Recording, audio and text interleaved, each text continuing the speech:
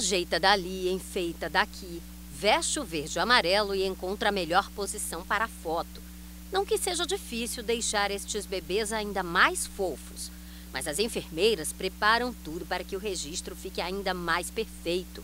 A Poliana tem só 10 dias e a mãe sente um alívio depois do susto de ver a menina nascer antes do tempo. A foto de mãe e filha vai ficar guardada para sempre. Ela me dá muita força para poder superar esses dias. Hoje estou com 10 dias aqui, mas estou muito feliz ao lado dela. A iniciativa é da residência em enfermagem e obstetrícia. Para as profissionais de saúde, também é um momento especial. Não foi uma nem duas vezes que a gente recebeu feedbacks maravilhosos, assim, de mudança mesmo de vida, em momentos que para a gente é, é normal, é cotidiano, é rotineiro, mas que para elas é, transforma. A programação das residentes em enfermagem inclui 27 bebês aqui do Hospital Geral César Caos e outros quatro que estão em sala de parto. Durante toda a manhã, eles devem fazer esse registro para ficar guardado na memória.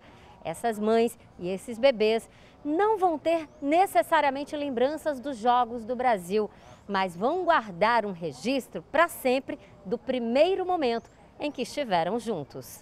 O ensaio fotográfico é uma maneira de tornar a internação uma experiência mais humanizada.